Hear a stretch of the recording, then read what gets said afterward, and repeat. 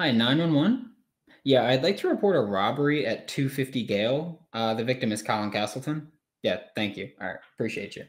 Uh, the All SEC teams dropped, and Colin Castleton was absolutely robbed because there were nine players on the first team, and he was not one of those nine players. Uh, he was on the second team and kind of voiced his displeasure, his displeasure with being left off of the first team.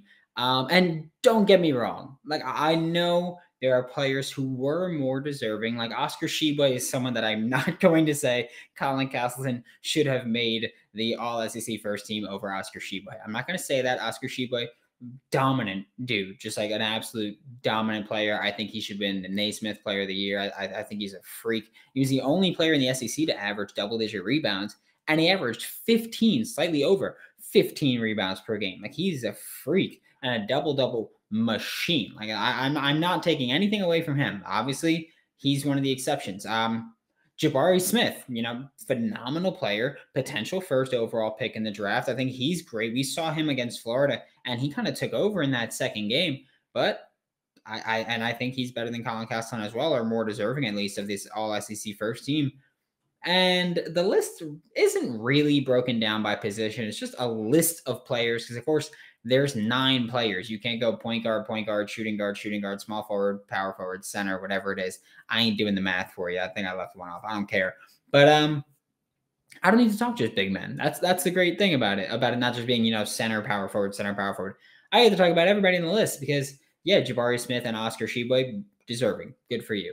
Um, however, there are some players that are how do I phrase this without being like super disrespectful? Um that were not as good as Colin Castleton and we're not as deserving as Colin Castleton. And I think that's totally fair to say. Like we could look at um I don't know. I'm like, all right, just looking at the list. Let's go down the list. We got Jabari Smith, we got Oscar Tshiebwe. Good. JD Notae, Scottie Pippen Jr., and Iverson Molinar. I get it. The three leading scorers in the conference, you got to have the leading scorers on there. So I understand their presence on this on the first team over Colin Castleton. I totally get it. But, but like Santiago Vescovi, like like you're gonna you're gonna look at Colin Castleton and Santiago Vescovi and tell me Santiago is the one that deserves it? Yo, like, are, are you okay? I, I, I don't know how he made the team over Colin Castleton. That one is laughable. You can look at Tari Eason. Um, I I don't see that one. I, I don't get it. He's a decent scorer. He's a decent rebounder, but top nine in the SEC as a player like like he's not as good a scorer as Colin Castleton overall. He's not as good a constant, consistent scorer as Colin Castleton. He's a little bit better from outside the arc, but guess what? He hits like one three a game. That's one more than Colin Castleton hits. I don't care. So he's not as good a scorer as Colin Castleton. He's certainly not as good a rebounder as Colin Castleton, and he's not as good of, a defender as Colin Castleton. So I don't get that one either. That's a bit weird for me. Walker Kessler are you joking? I totally get it blocks wise. Defensive, go ahead. Go, put him on the defensive team. That's fine.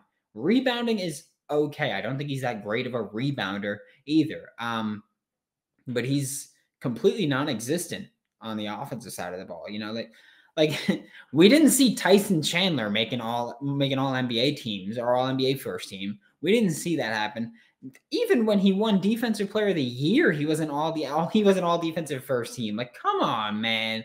Walker Kessler being on the first team in general is a joke.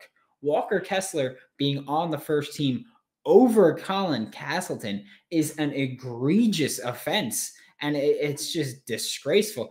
And I also like I don't want to hear because specifically when you talk about guys like Walker Kessler, I hear I've heard quite a bit uh team success, you know, on a winning team, on this, on that.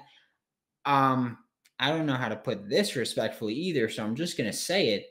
No, that's a dumb answer. Like that, if you say that, that's a stupid answer because you got Scottie Pippen Jr. and Iverson Molinar on there. And guess what? Florida Florida was better than both of them. So no, That's also not a valid excuse. The only valid excuse you have for excluding Colin Castleton from not being on the All SEC first team is that he missed six games with injury.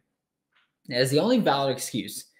And even then, I don't think it makes sense. Like, I, I don't think that's a valid enough reason that he missed six games out of the 31 that the Gators have played. And you're going to tell me that that was good enough to keep him off the All SEC first team? No.